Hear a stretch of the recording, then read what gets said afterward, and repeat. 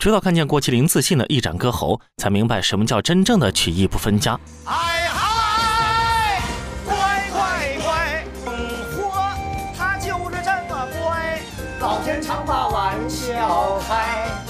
就说不能让曲艺工作者唱歌吧，这一嗓子之后，谁还能有信心接在他后面唱？但是一个天津人在一群东北人面前自信唱马大帅，不管是放在哪儿，都是十分炸裂的存在。但是这嗓音一出来，直接差点没把其他的嘉宾给憋疯，这嘴角简直是比 AK 都难压。但郭麒麟这唱功真的不错，简直是和赵本山唱的一模一样。无论是相声还是二人转，唱功都得是台上的一大亮点。不管是什么类型的曲子，角儿们都能够开嗓就唱，但能够将原唱逼疯的，怕就只有郭德纲了。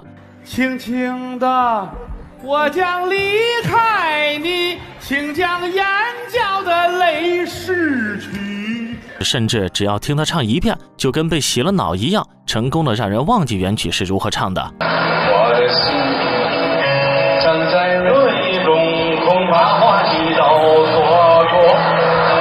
自从郭德纲在周华健的演唱会上来上了这一嗓子之后，之后的演唱会是从没邀请过郭德纲了。就这唱法，整个内娱的歌手没一个是他的对手。直到听见多年后陶阳再现唱功，才明白为什么师兄弟都怕陶阳开嗓。一见公之到林间，不由本宫喜心间，站立宫门叫嚣啊。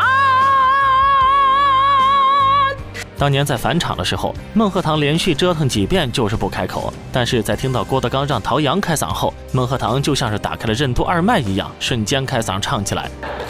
依依稀当年泪不干，彩楼绣球配良缘。毕竟谁也承受不住陶阳开嗓的压力，就连郭德纲和陶阳同台献唱，陶阳一开口，实力也是绝对不输师傅。京剧神童的称号简直是实至名归。虽说陶阳的嗓子在经过倒仓之后没有之前那么洪亮了，但是实力依旧十分稳定。可想小时候的他实力究竟有多逆天？当年画扇面简直是大型翻车现场，有唱错词儿的，有胡编乱造的，简直是一个比一个乱。郭德纲的脸色也是一次比一次难看。之后还是陶阳开嗓，才让郭德纲的脸色好转。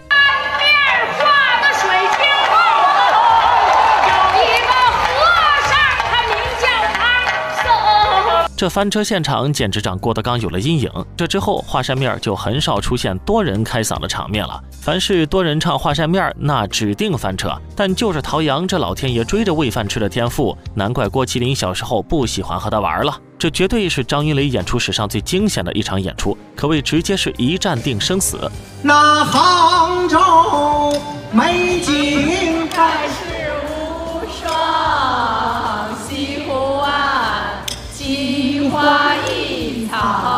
我，的清香。一九年的五月十一日，手术完的张云雷在天津举办了自己的相声专场。他在鲜花和掌声的簇拥下，完美的完成了自己的复出。但是没想到，仅仅过了一天，形势就发生了巨大的转变。就在五月二当天，有人扒出他在早些年说的相声，因为用上了国难当包袱，不少人将他顶上了热搜。舆论也让张云雷处于众矢之的。即便张云雷独自揽下了责任，依旧有人嚷嚷着让张云雷退出演艺生涯。但是再过十几天就是石家庄的专场了，到之后张云雷究竟何去何从？二零一九年六月一日，张云雷、杨九郎准时登场，但是台下却坐满了文化监督局的工作人员，他们手握纸笔，一字一句的反复审查。张云雷虽然表面笑呵呵，但是内心十分明白，这一战他不能退，也不能败，每个举动甚至说的每个字都有可能断送自己的相声生涯。观众也知道这场演出的重要性，所以从进场开始就全程安静，不接茬，不搭话，也不乱喊口号，因为他们知道不能给辫儿哥哥添麻烦。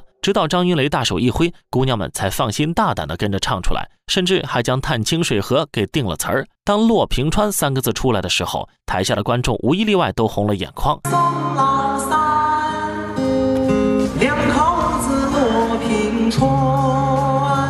张云雷真的是凭借着一场演出，成功的完成了涅槃重生。